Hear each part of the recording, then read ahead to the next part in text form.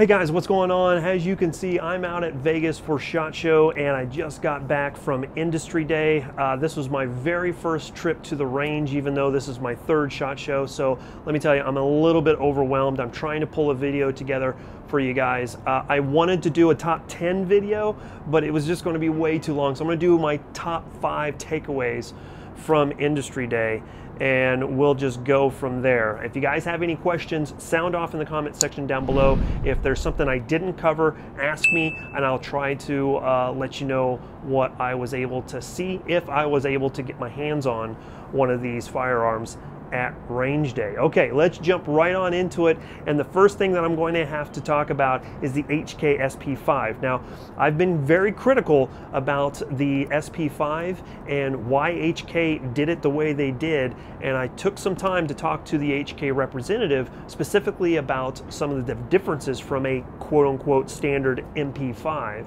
and why they went away from that for the SP5.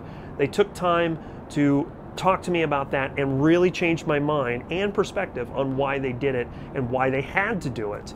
And after getting an opportunity to shoot some rounds through the SP5, man, was I wrong. Boy, I, am I'm, I'm just going to have to freely admit it. I was wrong. And uh, it, it's a sweet shooter. Is it worth the 23 to $2,500?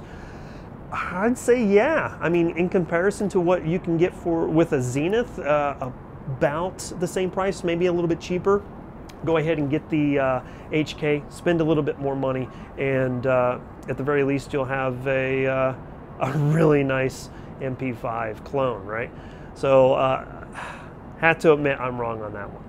All right, the next thing I was able to do is take a look at the Ruger 5.7. Now this one was something that was really interesting because Ruger was really trying to challenge FN on their 5.7 pistol, seeing that FN basically cornered the market in that realm. The Ruger 5.7 is incredibly sweet shooting. Uh, it was really flat, uh, no recoil really whatsoever less recoil than a 9mm, a lot of fun to shoot. And coming in about $500 or more cheaper than the FN 5.7, uh, they've they may have something on their hands here. Now the downside to the 5.7 is the fact that the 5.7 by 28 millimeter round is incredibly expensive, but um, if that's something that you just have to have, Ruger 5.7 may be a good viable option. So there's one and two. All right. Number three is the Brownells BN 180. I was able to shoot their pistol that they had set up, and it was a lot of fun. I was really surprised at how uh, much I liked the uh, 180. I knew that I was going to like it, but I didn't realize how much I was going to like it because that dual recoil spring system that they have set up inside of it is super cool. And they're going to be releasing something tomorrow. I can't really say anything today, I don't think, but uh, tomorrow we're going to have more content from Brownells at SHOT Show. And uh, I'm excited to talk about what they're going to do in 2020 for the BN 180. So there is number three. Now, I would say the most interesting and unique firearms that I was able to shoot was from ST Equipment. It was their Ultimak 100 Mark 8. This shoots from a open bolt, this rifle shoots from a open bolt position and is select fire being brought in to the United States from Singapore. Um, the only reason why I wanted to bring this up was because it was the most unique firearm that I was able to shoot at range day. Uh, not too many pistols or rifles out there shooting from the open bolt position. Uh, so to be able to get my hands on something like this uh, and you know try something new was really super cool. So the ST Equipment Ultimak 100 Mark 8 is my number four. And then finally number five, I had to do it. It was for my dad.